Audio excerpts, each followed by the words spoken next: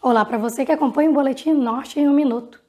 As informações sobre a demissão do superintendente da Suframa, Alfredo Menezes, foram negadas pelo coordenador de comunicação da Suframa, Márcio Galo.